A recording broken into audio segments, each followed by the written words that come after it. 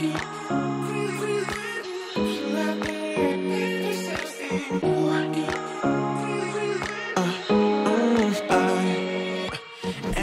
for those of you who doesn't know me yet, my name is Tarsila and today I'm going to be showing you how to get this Valentine Day look. So um, if you haven't subscribed to my channel yet, please subscribe. Don't forget to like this video and leave a comment below. So let's get started.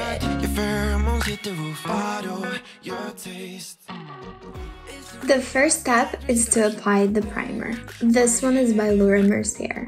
We are going to apply it all over the face and the neck. Now we are going to apply the foundation. This one is my favorite ever. It's by MAC and it's called Prolongwear. My color is NC20 and the sponge that I'm using is the one by Morphe. It's fabulous, you guys.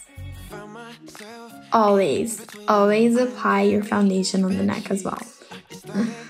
Now we are going to apply the concealer under the eyes, on the forehead, on the chin, and a little bit on the nose. The one that I'm using is called Shape Tape by Tarte.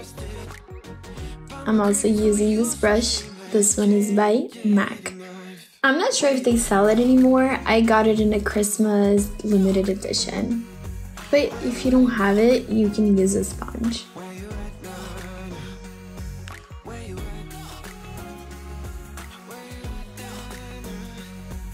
And now we are going to set. I'm using the Laura Mercier setting powder.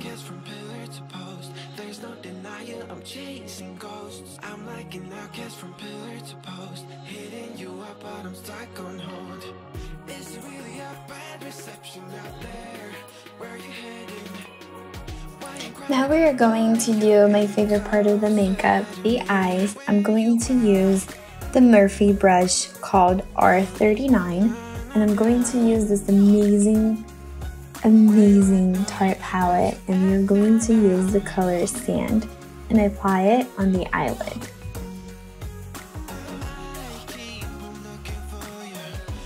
Now we are going to use the Naked 2 by Urban Decay. I'm going to use the brush that comes with the palette. And the color that we are going to put on our eye crease is called Tease.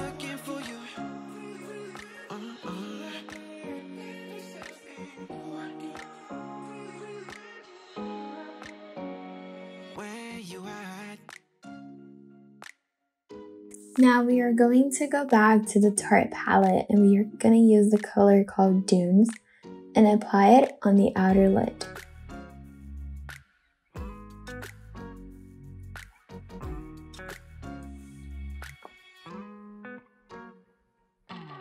This gives just a little bit of a drama. And then we're going to use the same color and apply it under the eye.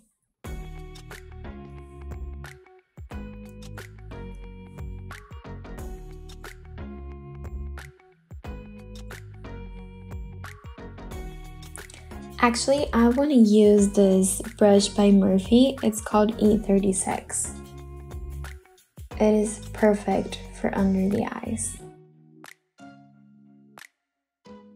Now, let's apply this pigment by MAC. This one is called Pink Opal, just on the eyelid, up until the middle. Now let's use the M573 by Morphe. And we are going to go back to the Tarte palette. We are going to use the color Smoke. This is a beautiful color and I think it's going to add some beige tone to it mixed with the pigment. It's going to look beautiful. I love mixing eyeshadow colors. Now we are going to go back to the Tarte palette and use the color Journey to apply it on the eye crease. This is going to make sure all your eyeshadows blend in together and look beautiful. Now let's go back to the Naked palette and use the pink color called Booty Call. and apply it on the inner corner.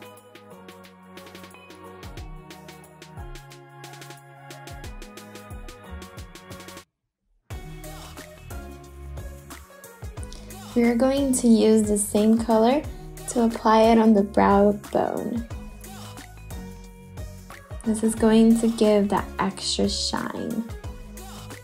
Then we go back to the Tarte palette, use the journey again. Make sure you blend in those colors. It gives a special touch. Now let's use that smoke color again.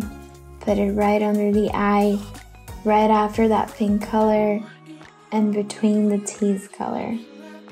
Now we are going to grab this brush by Morphe to remove the excess from the setting powder.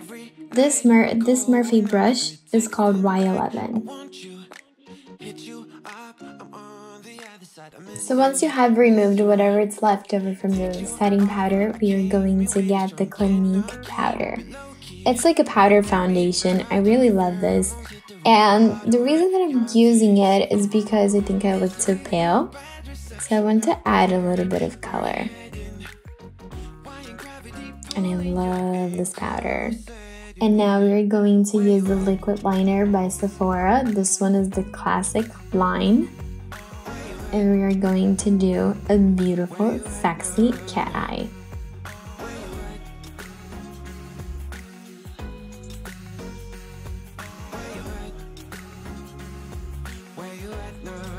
Honestly, like, this is the most difficult part of the makeup, in my opinion. But you know what? Practice makes it perfect.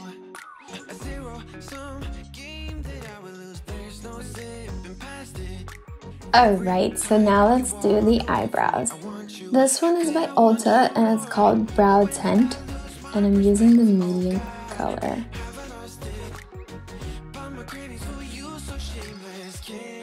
This is a little bit dangerous, so make sure you remove the access. Uh-oh, mistake. but I have the Neutrogena wipes to save me. And this is how I do it. Watch and learn.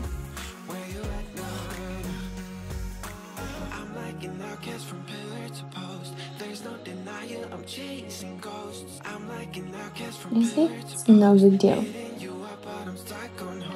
Go back to the color, the booty call. Put it over it, get over it. So now let's do the contouring. Let's use the Shade and Light by Kat Von D. This one, you can find it at Sephora. And then I'm going to apply that first color. Make sure you remove the excess from the brush. Wow. I love this palette. The tint applies so well. It's really good. Look how beautiful it already looks. Make sure you apply it on your forehead, especially if you have a big one like I do. And apply it on your neck, always. Because then it just looks weird if you don't. Um, you know, I want to use this light color just to give a little bit of more luminance under my eyes. Apply it on the nose, forehead, just a little bit, the chin. Alright, let's go back to the Tarte palette and use the blush Oh my god, this mascara.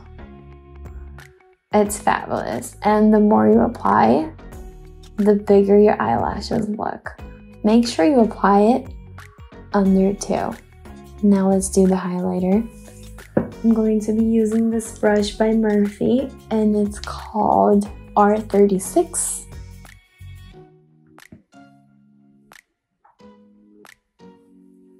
And I'm using this highlighter by MAC. This is called Beaming Blush. It's a beautiful pink tone.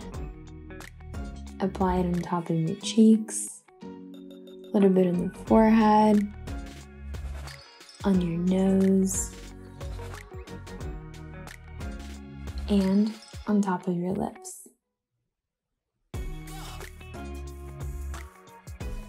And now let's use my favorite lipstick. This one is by Kylie and it's called Mary Jo. So the red lips is the final and last step of this makeup tutorial. Hope you guys have enjoyed watching it. Please, if you haven't subscribed, do so right now. Like this video, leave your comments below. Let me know what you would like to see next and share it with a friend. Can't wait to be back next time. Thank you.